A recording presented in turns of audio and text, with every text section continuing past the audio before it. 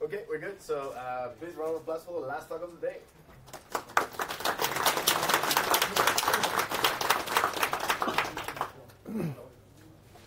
Hello, everyone.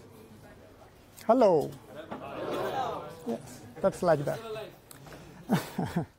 it's really amazing to see the room full of people, even even though this is the last talk, the last session, and, and the last day of the conference. So thank you and welcome.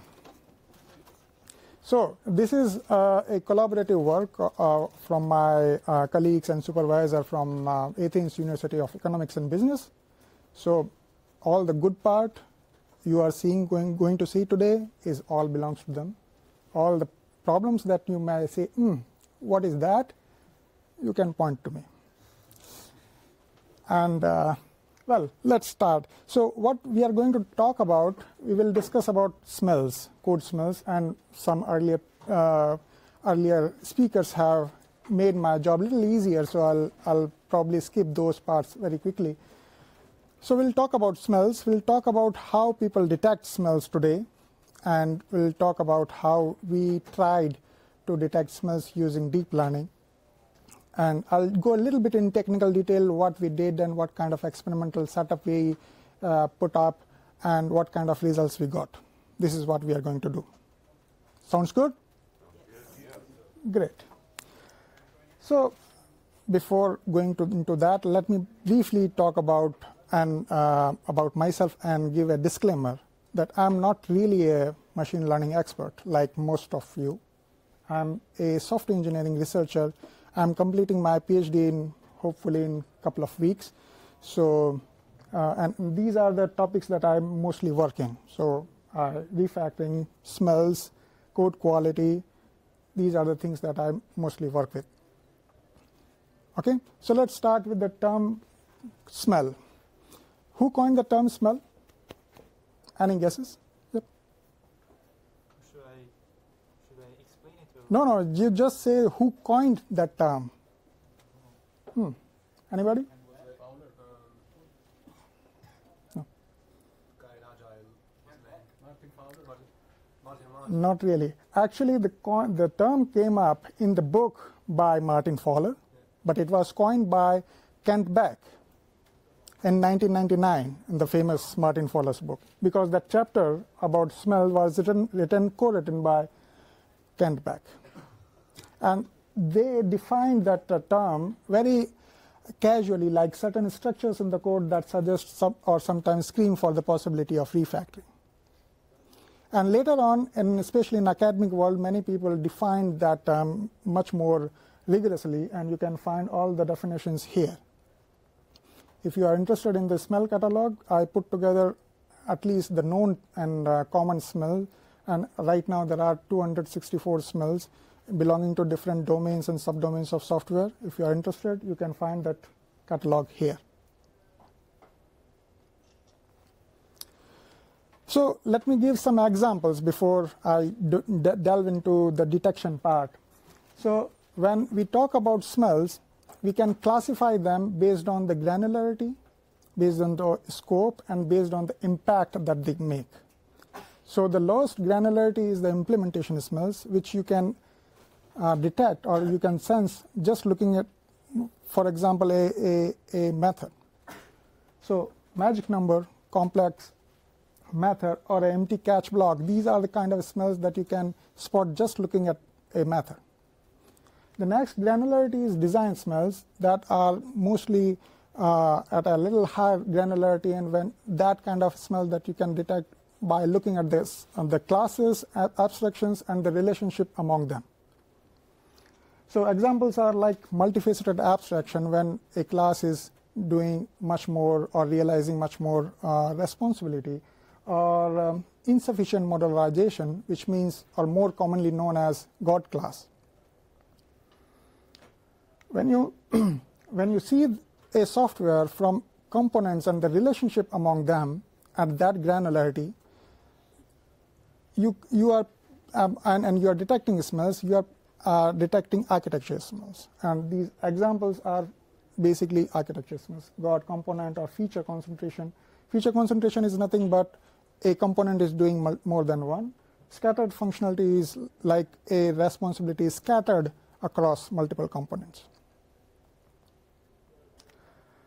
So, how people are detecting so far smells? So, there are basically five different categories if we try to analyze all the different smell detection uh, al algorithms or the methods available today. There are basically five different categories. Metric based, rules or heuristic based, machine learning based, optimization and history based. And most common ones are metrics and heuristics. And what people do normally, this is what people do. So you have source code.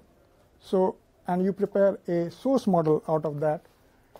Okay, that's not really working. Okay, so you prepare source model, and source model could be anything. Uh, uh, more simpler, uh, an example could be AST, abstract syntax tree, and from that source model uh, you compute metrics, and then you apply a certain threshold to classify whether that smell uh, is present in, in that particular method or class or a component. Recently, some attempts have been made to detect smells using machine learning.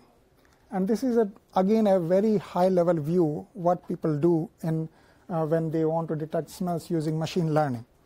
So you have source code, and you again prepare some sort of a source model. You have a machine learning algorithm. Again, there are different kinds of machine learning algorithms that you may apply. There are some existing examples, especially I'm talking about supervised I mean, uh, uh, you have existing examples that you use to train the machine learning algorithms, and you have a trained model, and with that trained model, you actually uh, infer the new code that whether those uh, code snippets or code fragments are, can be classified as smells or non-smells. I would like to uh, brief about what kind of uh, existing academic work uh, has been done on uh, related to machine learning based approaches. So people have used support vector machines, Bayesian belief networks, logistic regression, and even CNN. And for first three of them, uh, the feature set or the input is matrix, object-oriented matrix typically. And uh, that's basically a double-edged sword. At one end, you are trying to help machine learning algorithm to uh, pick the uh, classification feature very quickly so that the algorithm can decide whether it's a smell or non-smell. But on the other hand, on the other hand, you are uh, you are reducing the search space, and uh, so that the the, and you are limiting the capabilities of, the, uh, of uh, machine learning or deep learning algorithm by, by limiting the capabilities of that. Because you are, you are now giving only the matrix, so the machine learning algorithm is bound that can do at best what that, machine, that uh, metric can represent. If the metric is not representing the feature or the characteristic that, that is helpful in detecting that smell, then, well, we are not going to get a good classifier. Another related problem, uh, especially in the existing work, is either the validation is th there are many details missing, or if there is there are uh, details are there, then the validation is on balanced samples. And we in the morning also we, we have seen that when we have a balanced set versus imbalanced set, that can be really drastic change in the performance. If you and if you are representing a realistic case in which you have maybe a, maybe 1% of classes are smelly and 99% classes are non-smelly, then and you apply some sort of a machine learning algorithm and your precision recall curve will be like this. So that's uh, one of the observations that we had. And with this sort of background, uh, these two uh, major research questions that we set up for ourselves. The first one is, is it really feasible or possible to apply deep learning to to detect smells. And if it is possible, then which method is um, performing superior? And uh, basically, we analyze uh, CNN and RNN, and we give inputs in 1D and 2D. So we basically have three models to compare, CNN 1D, CNN 2D, and RNN. In the second research question, we are exploring whether transfer learning is feasible. And what is transfer learning? Transfer learning is nothing but a, uh, a, a, technique where we exploit the commonalities between different learning tasks. So what we are going to do essentially is that we learn a uh, model from one programming language and then we apply that trained model to another programming language. Okay. So to do this, what we have done, we have a research question set of research questions that I already talked about. We downloaded source code. Obviously, our first approach is first step is to download source code, and GitHub is the to go method. So we uh, downloaded C Sharp and Java repositories. We use Designite to detect smells in both of both kind of repositories. We use code split, uh, again, uh, our own tools that uh, we have made available. We, I'll share all the details where you can find all these tools. So we, we basically we are generating code fragments from the from these uh, big projects. I'll go into each step individually also, so uh, I'll go a little bit in more detail. This is just I'm giving an overview. And then these code fragments and the detected smell, we basically classify these code fragments into positive and negative samples. And then we tokenize them. After tokenizing, we prefer a pre-processing, which is nothing but removing the duplicates. And then we finally give it to the deep learning models. This is the overall setup that we used. Let me go into a little bit in detail one by one.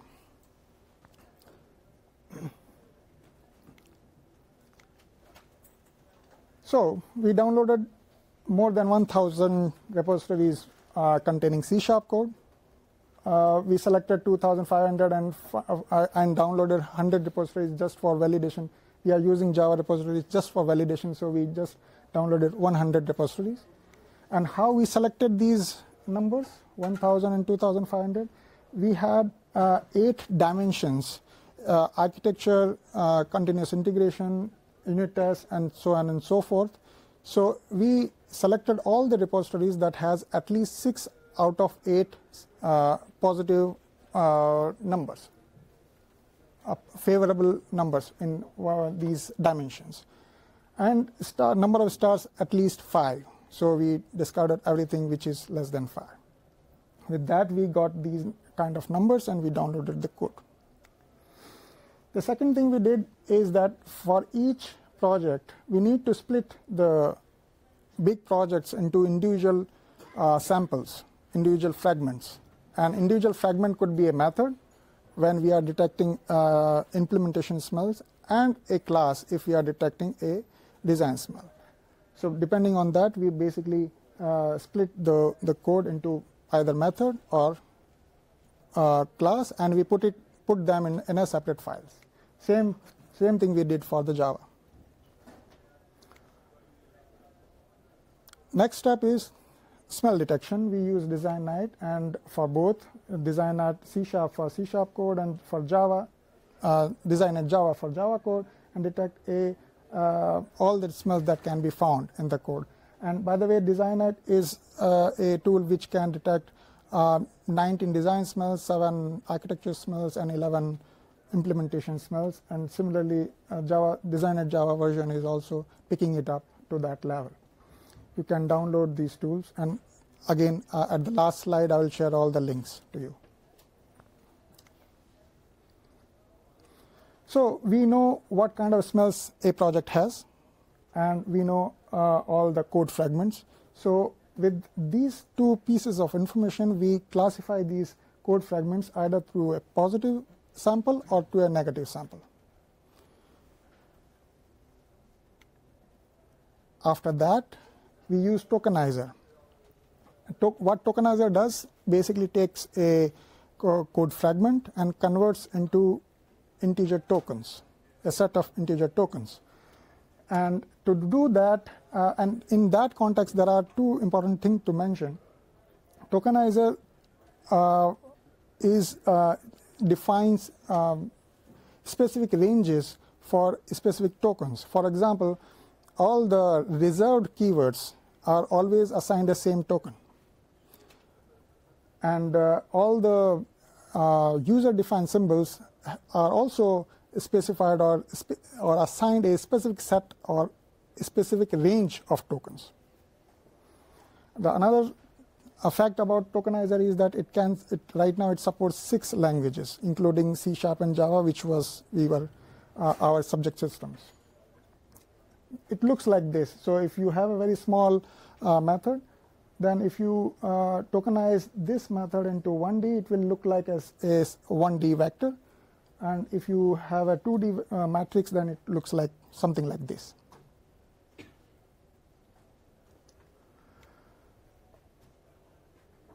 And again, it's important to uh, go a little bit in more detail and see how we prepare the data, how we train the model. So that's why I'm showing you a very specific example of a smell.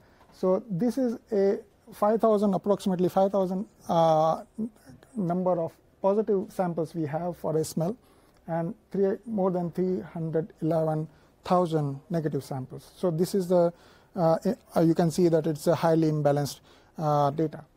And that we split into 70-30 for 70 for training and 30 for validation. And what we do, uh, obviously we have 3000 and we have a split 70-30. And for training, we take this, uh, this uh, positive part and this negative part. And similarly for the evaluation, we do the same. Here we do, when we train the model, we do balanced training, which means that we have equal number of positive and negative numbers, samples.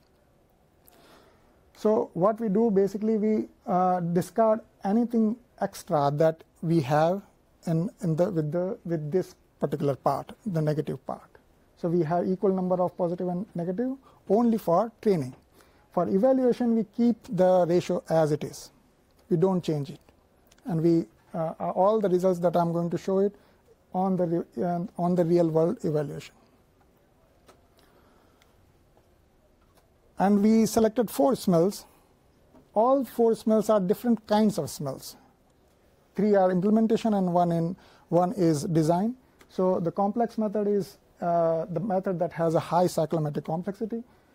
Magic number is a numerical literal is used with, in the expression without explanation empty catch block is a catch block of where the exception there is nothing written in that uh, catch block. And then multifaceted abstraction is a kind of uh, kind of difficult to detect smell because and that's why we chose it because it is uh, it is a very different from the rest of three. And and it, because it has a semantic meaning you can't detect a multifaceted abstraction just looking at the code, you need to understand what it does because what it means is uh, the cohesion of the class is low. So these are the four smells that we chose and uh, now let's talk about what we did, how, what kind of uh, CNN uh, model or architecture we prepared with the CNN. So you can see that that we have convolution batch normalization and max pooling layers and these layers are repeated. Are repeated in the sense uh, when we experimented with number of deep layers and when we say deep layers we only refer these number of uh, deep layers 1, 2 and 3. So if uh, deep layer layers are equal to 3 which means we repeat these 3 times. And we did a kind of a grid search which means that we chose different kind of hyperparameters and uh, we experiment with all the permutations and combination. And we use dynamic batch size depending on the input sample size. So if the number of samples are very small, then we use the smaller uh, batch size. But if the number of samples are very large, then we use the higher number of batches. To, for re regularization, we use uh, early stopping with patience 5 so that we don't overfit and model checkpoint along with that. And some other configuration you can see here that dropout layer has a 0.1 uh, dropout and uh, and the dense has uh, I mean uh, the output is 32 with the ReLU activation and so on and so forth. Similarly, for RNN, we have LSTM layer, and before that we have embedding layer. And we, when we have a number of layers, multiple uh, deep learning layers, we basically repeat this LSTM layer. Again, we have different kind of hyperparameters and uh, dynamic batch size and uh, same uh, and uh, similar size, similar callbacks. Although we use patience too because it is very expensive to train RNN model, and if time permits, I'll talk about that in a little bit more detail. So essentially, what we did is we had two phases. In the first phase, we did a uh, grid search with the different kind of para uh, parameters configurations. So we had uh, 144 144 configurations for CNN and 18 for RNN. And we kept validation set 20% aside for the first phase. In the second phase, when, when we know which, uh, which um, configuration works the best, we run it again with the validation zero, obviously. And we performed all the experiments on the on GRNet facility, which is a Greek supercomputing facility, uh, with the 1 GPU and 64 GB of uh, memory. So, what we got? What we got is, before I go into the uh, into what we got, the, when we were and and I said initially that we were very uh, we were very uh, uh, we started with very without any knowledge of machine learning. So the first thing that I did is uh, figuring out accuracy. So we I was computing accuracy, and the first time when I run the model, and we, I got 99% accuracy, and I was jumping, and I told my supervisor, "See, 99%," and he looked at me, "Hmm, you have imbalanced data." and huge imbalanced data. Obviously, you will get 99%, even if your uh, your model is just predicting one or zero, you will do you will get that. So then we learned that okay, that's not the right way. So the first thing we added is uh, ROC AUC. So this is the kind of ROC AUC we got. So area under curve. Basically, this is what we got. So the it, it's crossing 80% in some cases, and and the lowest end it's 50% or something like that. However, we again realize that this is not the right way. We should do precision recall and precision recall curves. And this is what we got for precision recall. And basically, we summarize precision recall into F1, uh, F measure, to have a comprehensive uh, one number. So uh, you, you, can clearly see that some of the smells, these uh, deep learning architectures that we design can pick it up but some they can't. And the reason in general F1 is, is low because we have low precision. And why we have low precision? Because we are predicting false positives, a lot of false positives. So, well, we can optimize that whether whether we want high precision and recall, and probably you know better that precision and recall always have a trade-off. So, if we want to get higher precision, we can have to compromise on the recall and vice versa. So that this is what the first result, and we go into a little bit on detail that whether CNN uh, versus RNN. So whether CNN is better or RNN is doing better in our case, and we see mm, the if you look at the maximum F1, there is hardly any difference. Uh, even uh, if we plot all the cases, then also it's not decided decisively we cannot say that whether CNN is better in our case or CNN 2D is better. We also did comparison between CNN and RNN.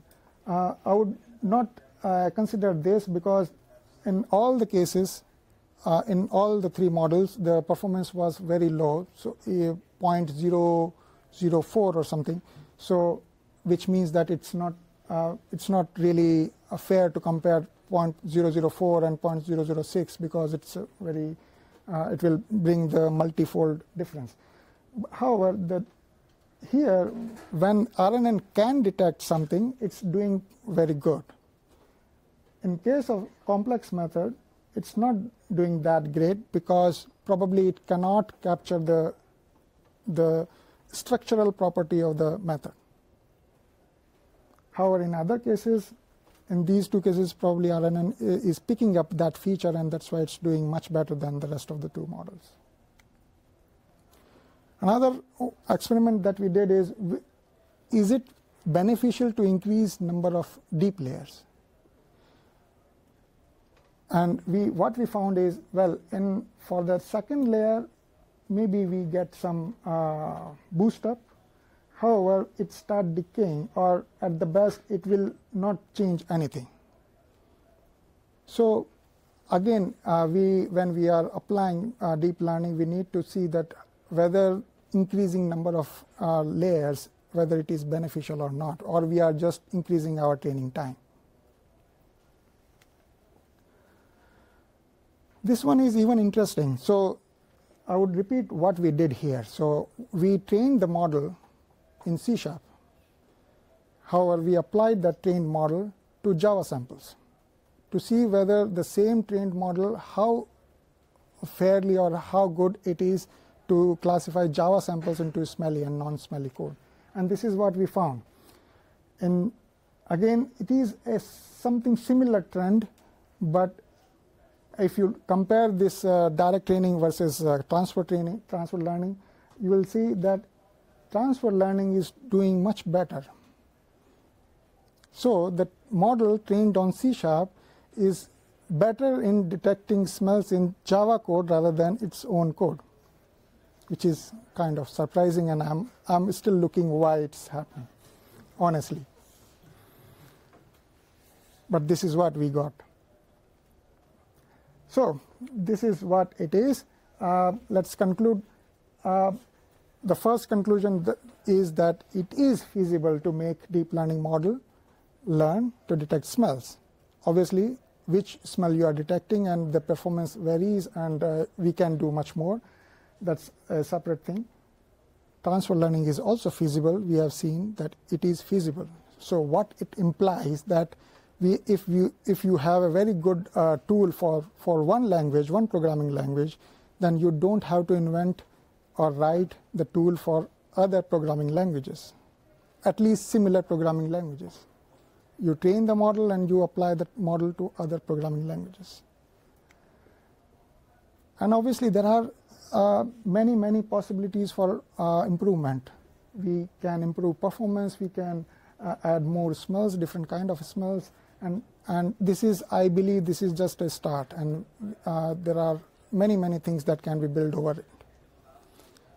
So these are some relevant links as I promised. You can download all the source code and data here. I made it open source today morning. you can download the uh, the design for C sharp here.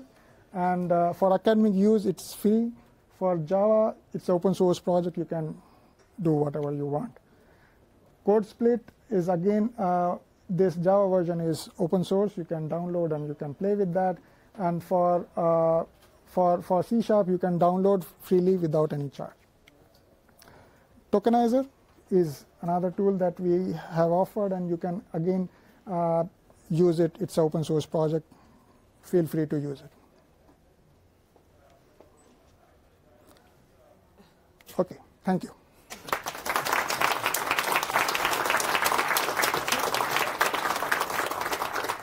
If, if you like uh, stickers, I have some stickers, some fancy stickers. Please feel free. Yes, please. Yes.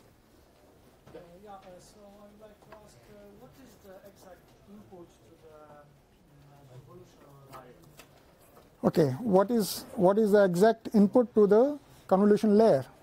Okay, so the as you can see the architecture. I mean, uh, you uh, we have defined, and before giving to the deep learning model to the whole uh, models, we convert source code into tokens.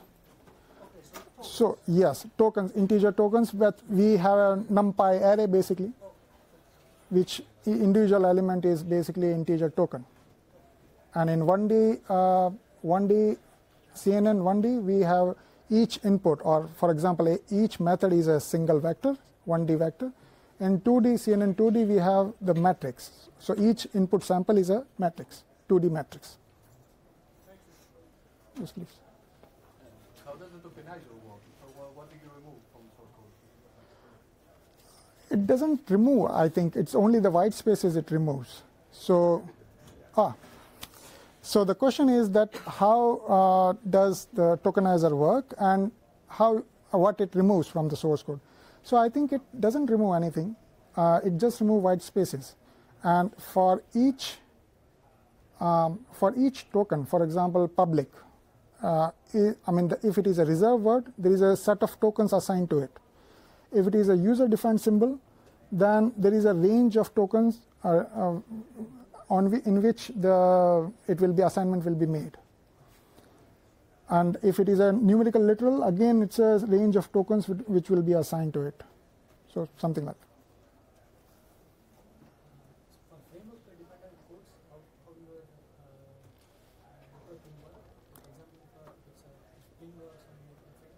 Framework dependent code. Okay.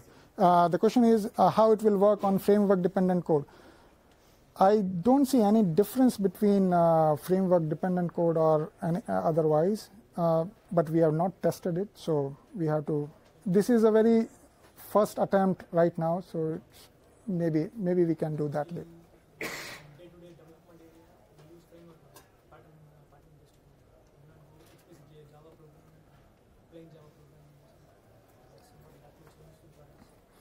I don't think that will impact anything because uh, whatever code you provide, uh, I mean, and anyway, it's the, the, the scope is very limited for the scan. So it's uh, for implementation it's just one method. So it's just looking that method. Please. So what do you think are the main challenges to move this, to scale this to sort of uh, more complex smells like scattered functionality or things that are harder to Uh, it's, it's, Ah, okay. Uh, the question is, what are the challenges if we want to extend this work to more involved smells, more complex smells? For example, scattered functionality. It, it is difficult. It is difficult because our goal was that we will not give the processed input to the model. We want to give model as as close to the raw uh, source code. We just tokenize it and remove the duplicates, but we didn't do anything else which normally referred as feature engineering. We didn't do that. And that's the one of the aim. We intentionally didn't do that because this is how we want to process it. But if we want to if we want to go a little bit in detail and more uh, involved smells, and which we have seen in the multifaceted abstraction, it's it's not really easy. The whole characteristic of the smell is not captured really and the model cannot capture even we given a training, training size of 10,000 cannot capture that um, uh, uh, that is one possibility, but probably we need to do some sort of or mix uh, or introduce relevant features or give relevant features uh, to to help the model to detect better.